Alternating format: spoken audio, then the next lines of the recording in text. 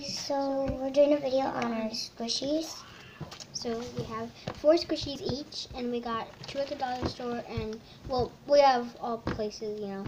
And we're just basically gonna go and say um, how much it is and where we got it from. So yeah. and what it is. So Yeah. I'm gonna go 1st And I got this cupcake one from um what's it called? Walmart.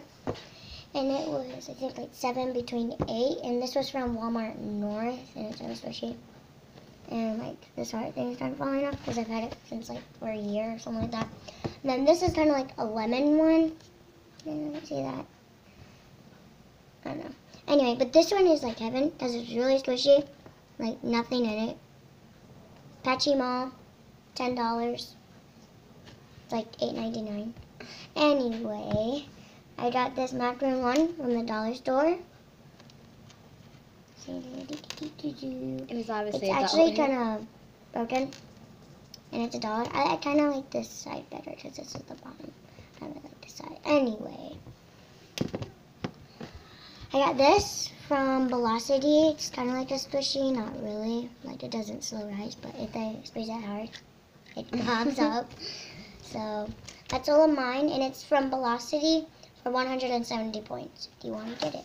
So, her.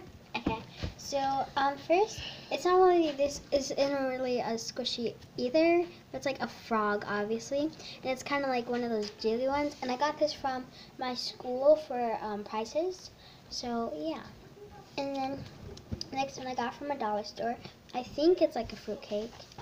If you can see, it kind of squishes just a little bit, but yeah. And then this one is just like Aunt Julia's. Um, I got it at Walmart also, and it's obviously a cupcake. And I colored this because I tried to make it pretty, but it didn't really work out.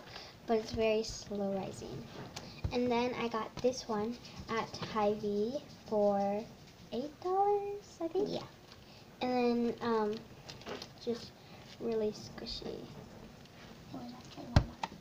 So, yeah. Anyways, actually, this is from Walmart, but who cares? Um, but that's our video. So yeah, drop the mic. and make sure to like and subscribe and follow my channel at Olivia Robinson with the O and the R are capital. So, Yeah.